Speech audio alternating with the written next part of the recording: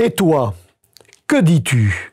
Voici Jésus sommé de trancher, de donner la parole qui le condamnera, lui, quoi qu'il dise. Cette femme sera un prétexte pour l'accuser, à lui Jésus. Et cette page d'évangile relatant cet événement est une des plus belles. Physiquement, cette femme du parvis du temple est encerclée, comme pour une curée, une mise à mort, un adultère. Elle est accusée par des hommes, sur une dénonciation peut-être. Et ils brandissent la loi de Moïse qui ordonne la mort, la lapidation. Et toi, que dis-tu? Jésus s'est baissé. Il écrit avec son doigt, peut-être, une des prescriptions de la loi, tu ne tueras pas. Il se redresse et les renvoie à leur propre vérité vis-à-vis de Dieu. Qui n'a jamais brisé l'alliance?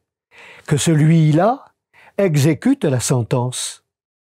De nouveau baissé, Jésus donne à ces hommes le temps de s'examiner eux-mêmes face à la loi. Peut-être celle de l'alliance, de l'amour de Dieu? Jésus une nouvelle fois se redresse. Une question, mais il en sait la réponse. Le cercle est ouvert. Le cercle s'est brisé. Debout, Jésus va ressusciter cette femme. Il la sort de son tombeau. Son tombeau, c'est de mal aimer. La puissance de l'amour de Dieu est toujours recréatrice. Voici que je fais une chose nouvelle, dit Dieu par la bouche du prophète Isaïe. Cette femme devient création nouvelle. Jésus l'envoie.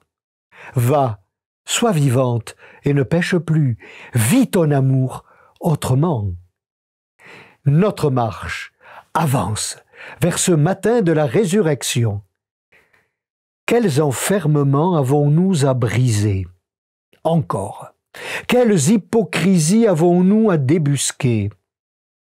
Quelle vérité avons-nous à mettre en lumière, à faire jaillir de nous?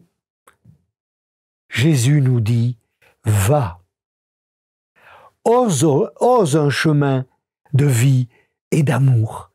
J'ai vaincu le péché. Je suis mort pour t'appeler à la vie.